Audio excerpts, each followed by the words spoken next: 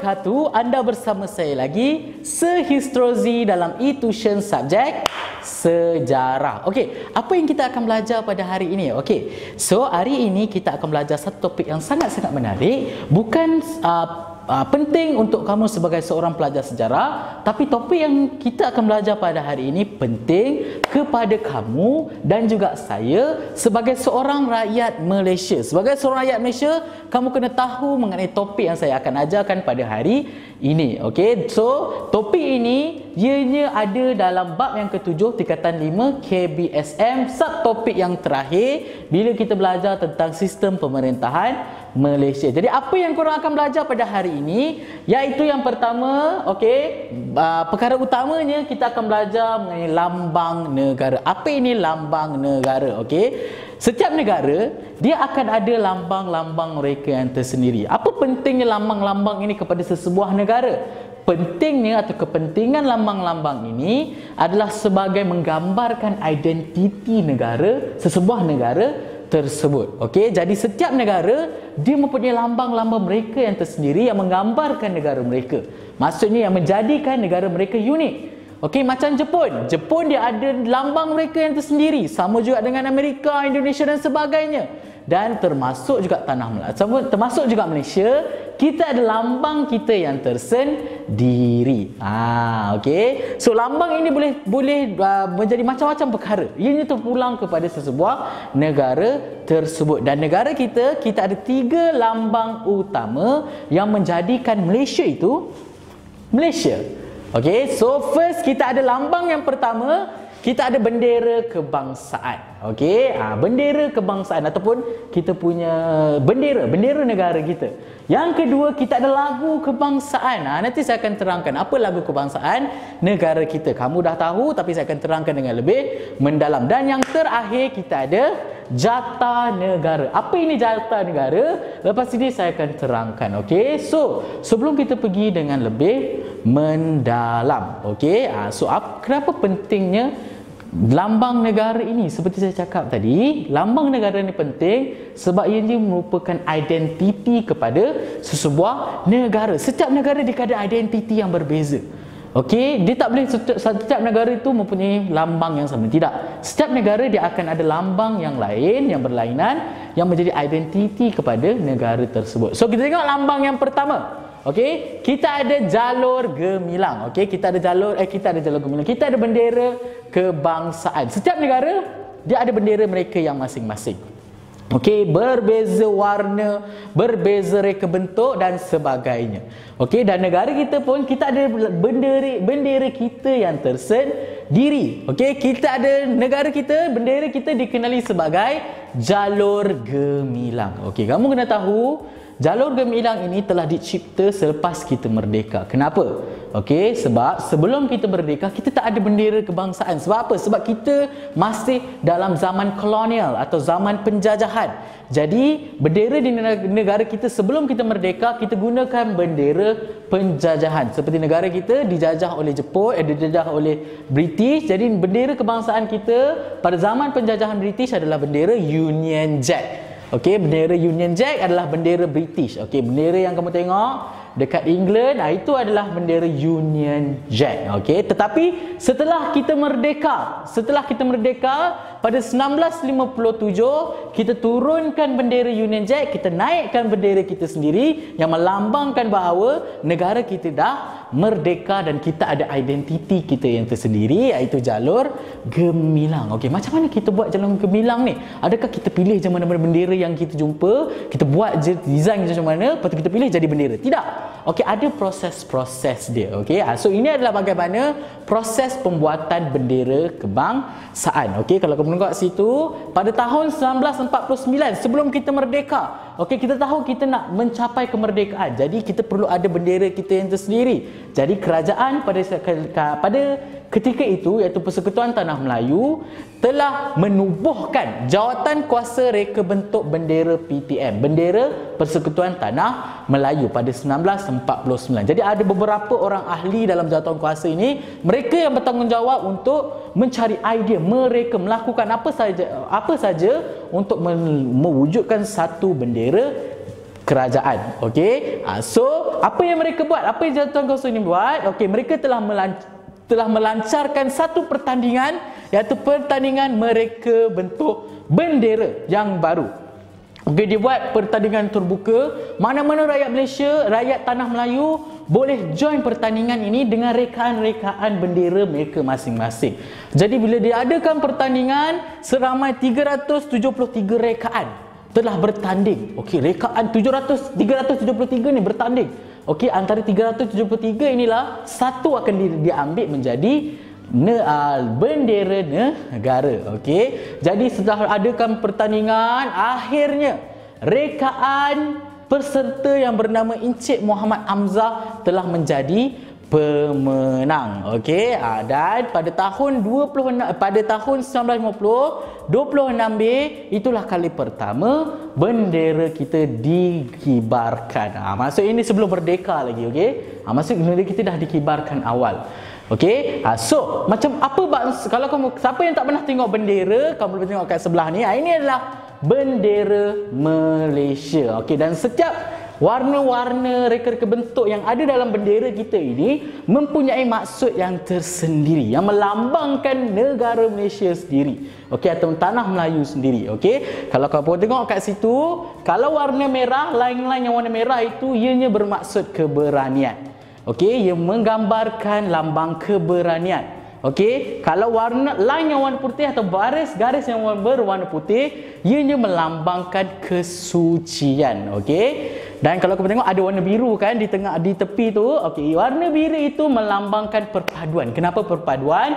Disebabkan kita adalah masyarakat majmuk dalam berbilang kaum. Jadi bendera itu menggambarkan perpaduan kita sebagai masyarakat yang berbilang kaum. Dan kalau kita tengok kat situ, ada gambar bulan kan dekat situ ah bulan itu melambangkan agama Islam sebagai agama rasmi negara kita. Dan kita ada bintang dekat situ. Bintang melam kalau kamu tengok bucu bintang tu kamu kira ada 14 bintang. 14 bintang itu menggambarkan 14 buah negeri yang kita ada dalam negara kita negara persekutuan okey dan kalau kamu tengok kalau kamu kira uh, baris yang ada selang-seli merah putih dekat situ Okey, itu melambangkan ada 14 buah baris, ianya melambangkan 14 buah negeri yang ada dekat negara kita. Dan warna yang terakhir kamu tengok dalam warna bulan sabit dengan bintang ada warna kuning kan? Itu melambangkan institusi beraja. Sebab institusi beraja kita di tanah Melayu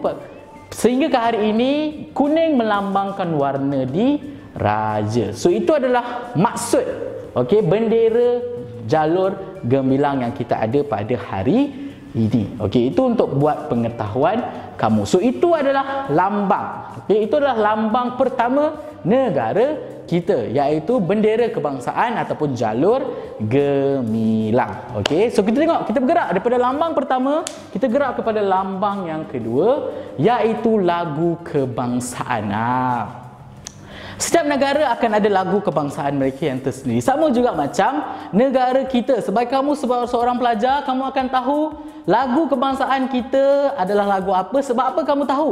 Okey, sebab kamu telah diajar seawal usia daripada sekolah rendah lagi. Setiap kali ada perhimpunan, kita akan menyanyikan lagu. Ha, lagu kebangsaan kita. Dan kamu tahu dekat negara kita, apa-apa saja majlis rasmi, apa-apa saja majlis rasmi di negara kita, kita wajib untuk mengalunkan lagu negaraku. Dan apabila kita menyanyikan lagu negaraku kita kena berdiri tegak. Okey ah, itu adalah prinsip sebagai seorang warga negara Malaysia yang menghormati lagu kebangsaan. Okey so kita tengok. Okey bagaimana uh, atau sejarah penubuhan atau pembuatan lagu kebangsaan di negara kita? Uh, kamu tengok dekat situ Sebelum kita merdeka, okey, sebelum kita merdeka, lagu kebangsaan negara kita mengikut lagu penjajahan iaitu lagu negara British iaitu God Save the Queen. Kenapa Queen? Okey, kenapa God Save the Queen pada negara kita tak ada Queen? Sebabkan British pada ketika itu pemerintah atau raja mereka uh, pemerintah tertinggi mereka adalah ra, seorang ratu iaitu Ratu Elizabeth. Okey, jadi bila mereka menjajah negara kita, kita perlu mengikut apa unsur-unsur yang mereka bawa masuk ke negara kita ke negara kita termasuk lagu kebangsaan kita. Okey, God Save the Queen dalam bahasa Inggeris. Okey, dan apabila itu sebelum kita merdeka pada zaman penjajahan, selepas kita merdeka di situlah sama macam bendera kebangsaan kita cuba cipta lagu kita yang tersendiri. Sebab kita nak ada identiti sendiri.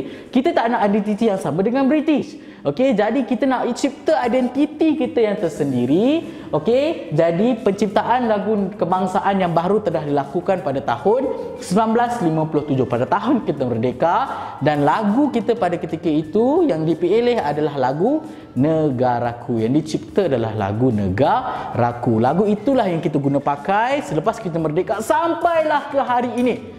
Okey, sampailah ke hari ini kamu tengoklah kat mana-mana majlis rasmi dekat sekolah waktu perhimpunan akan ada lagu negaraku yang berkumandang.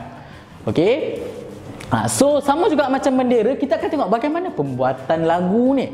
Okey, bagaimana kita cipta lagu itu? Dari mana kita dapat lagu negaraku ini? Okey, so ini bermula apabila ada empat lagu yang diperkenalkan. Maksudnya kita, maksud ada empat lagu yang diperkenalkan yang menjadi orang kata top 4 untuk dipilih menjadi lagu kebangsaan negara kita.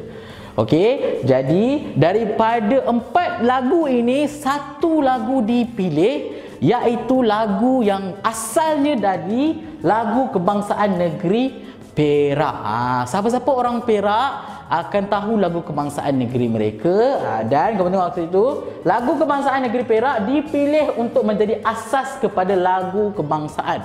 Ha, so lagu kebangsaan negeri Perak bernama lagu Terang Bulan. Ha, siapa-siapa orang Perak akan tahu lagu Terang Bulan. Dan lagu Terang Bulan inilah yang dipilih untuk menjadi asas kepada pembuatan lagu Negaraku. Dan kalau kamu tengok lagu Negaraku, okey, kalau kamu dengar baik-baik lagu Negaraku, lepas tu kamu dengar lagu Terang Bulan, lagu kebangsaan negeri Perak, ir irama dan melodi dia sama. Cuma ada perubahan sedikit. Ah, siapa orang Perak akan tahu persamaan ini. Ha, kamu tengok dengar lagu kebangsaan negeri Perak, kamu dengar lagu negaraku. Akan ada persamaan. Sebab apa? Sebab asas lagu kebangsaan negara kita adalah kita ambil daripada lagu Terang Bulan milik lagu kebangsaan negeri Perak. Dan siapa yang mencipta lagu Terang Bulan ni atau siapa yang menggubal lagu bukan uh, yang men menggubal lagu negara lagu negaraku ini adalah ciptaan Encik Saiful Bahri. Ha, dia yang mencipta atau menggubal lagu negaraku yang ada dekat negara kita. Okey, dapat dekat situ. Ah, itulah lambang yang kedua. Okey, lambang yang kedua yang menjadikan negara kita, negara Malaysia itu Malaysia sebab tak ada negara lain yang yang nyanyikan lagu negara aku, negara kita saja. Sebab apa? Sebab negara lain ada dia orang punya lagu kebangsaan yang tersendiri. Okey, so kalau kamu tengok kat sini, okey, itu lambang yang ketiga. Lambang yang kedua. Tengok lambang yang ketiga. Ah, ini adalah jata negara. Okey, apa itu jata negara? Okey, jata negara merupakan logo rasmi kerajaan. Okey, logo rasmi kerajaan. Okey, atau logo rasmi negara dan logo kerajaan. Kalau kamu tengok kat mana-mana ha kerap kementerian ke mana-mana kerajaan ke mana-mana surat yang bersifat rasmi kamu akan tengok ada ada satu lambang kat situ yang ada harimau tu. Ha itu adalah jata negara. Ha itu pun lambang atau logo kerajaan. Ha, lebih mudah kita faham sebagai logo kerajaan. Ha, kalau kamu tengok logo itu yang kita gelar sebagai jata negara. Itulah jata rasmi dan setiap uh, benda benda-benda yang ada dalam jata negara itu ada maksud mereka yang tersendiri. Ah kita tengok yang pertama. Kamu tengok kat situ. Ah ini adalah jata negara. Kamu tengok kat tepi ini ini adalah jata negara kita. Ah kamu tengok kat situ ada harimau, ada bulan, ada bintang dan ada keris, ada jata-jata dekat bawah kecil itu. Itu ada, ada setiap benda ini ada maksud mereka yang tersendiri. Tengok yang pertama, okey. Kamu tengok ada dua harimau dekat situ kan, kiri dan kanan. Harimau itu bermaksud melambangkan keberanian. Okey, melambangkan keberanian dan kalau kamu tengok kat situ ada bulan kat situ, bulan dekat tengah tu, ha, bulan itu melambangkan agama Islam sebagai agama rasmi. Dan kalau tengok di atas bulan itu dia ada bintang kat situ. Bintang itu melambangkan melambangkan 14 buah negeri yang ada di negara kita. Okey, dan kalau kamu tengok di dalam itu tengah-tengah tu ada macam-macam benda dalam tu. Ada lima buah keris kan kat situ. Lima buah keris melambangkan lima negeri yang dahulunya menjadi negeri-negeri Melayu tidak bersekutu. Apa contoh negeri-negeri Melayu tidak bersekutu? Kedah, Terengganu, Kelantan, Perlis dan juga Johor. Sebab itu ada lima keris melambangkan pentadbiran negeri-negeri Melayu tidak bersekutu pada zaman British. Dan kalau tengok kat situ, dekat tengah-tengah tu ada warna merah, hitam, kuning, uh, putih dengan kuning. Uh, empat warna itu melambangkan empat negeri dalam pentadbiran negeri-negeri Melayu bersekutu. Apa contoh negeri-negeri Melayu bersekutu? Kita ada Perak, kita ada Negeri Sembilan, kita ada Pahang dan juga kita ada Selangor. Empat warna ini ada dalam setiap bendera-bendera yang ada dalam empat negeri ini. Contoh macam Pahang. Kalau kamu tengok negeri, bendera negeri Pahang, ianya berwarna hitam dan juga putih. So dalam itu ada warna hitam putih. Kan sama juga macam Selangor. Selangor warna utamanya adalah warna merah dengan kuning. So ada dalam itu merah dan juga kuning. Sama juga dengan Perak. Perak warnanya ada tiga warna utama kuning, putih dan juga hitam. Sama juga dengan negeri sembilan. Maksudnya empat warna ini melambangkan empat negeri dalam pentadbiran negeri-negeri Melayu tidak eh, negeri-negeri Melayu bersekutu. Dan kalau kita tengok dekat bahagian tepi warna itu ada satu pokok, ada dua pokok. Satu adalah pokok pinang, satu lagi adalah pokok Melaka. Ha, pokok pinang melambangkan negeri Pulau Pinang dan pokok Melaka melambangkan negeri negeri apa? Kamu dah tahu sendiri negeri Melaka. Inilah dua negeri-negeri Selat. Okey, pentadbiran negeri-negeri Selat dahulu iaitu Pulau Pinang dan juga Melaka. Dan kamu tengok di bawah itu ada satu bunga dekat situ. Ha, bunga itu adalah bunga raya yang melambangkan bunga kebangsaan negara kita dan di sebelah dua di sebelah bunga tu ada jata negeri. Okey, ah, itulah jatah negeri dua negeri di bahagian Borneo iaitu negeri Sabah dan juga Sarawak. Ha, kalau tengok kat situ yang bahagian kiri itu itu adalah negeri Sabah. Bahagian kanan adalah negeri Sarawak. Ha, so ini adalah lambang-lambang yang ada pada jatah negara. Digabungkan semua lambang-lambang yang ada dekat negara kita, gabungkan menjadi satu lambang utama iaitu jatah negara. Dan jatah negara inilah yang digunakan okey untuk okey menggambarkan kerajaan ataupun negara kita. Sebab setiap negara dia akan ada jatah-jatah atau logo-logo rasmi negara tersebut.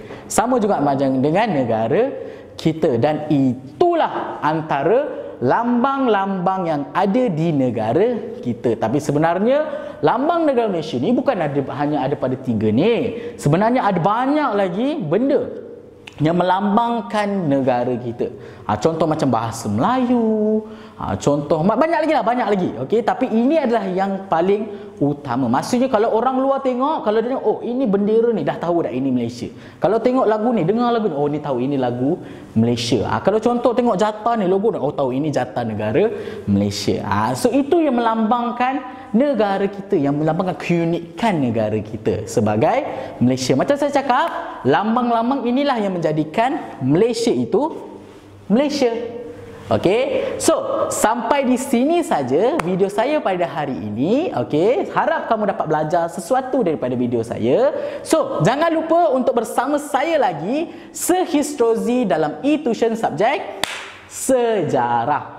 Okey, itu saja. Assalamualaikum warahmatullahi wabarakatuh. Bye bye.